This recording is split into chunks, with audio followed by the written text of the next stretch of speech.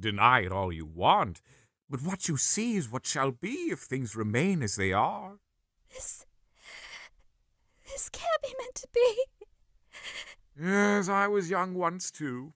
Much like you, I couldn't accept fate. Tried to bend it to my will. And that's why I was left here to rot.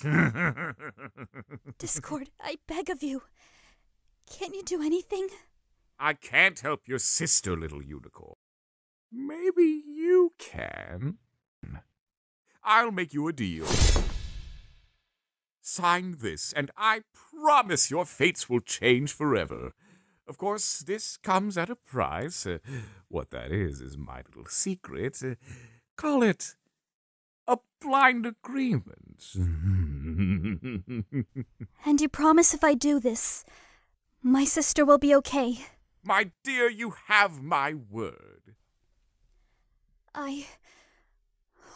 I don't know. No rush, my dear. It's only your sister's life. You want to change what lies ahead, for you dread what you've just seen through the glass.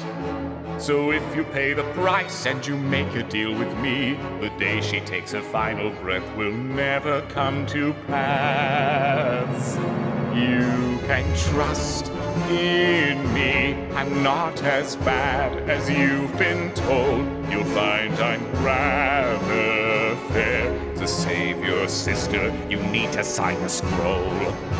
I understand you have your reservations.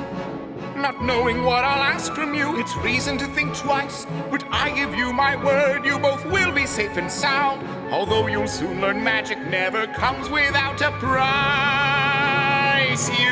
Trust in me. I'm not as bad as you recall. You'll find I'm quite sincere. To change your future, you have to risk it all.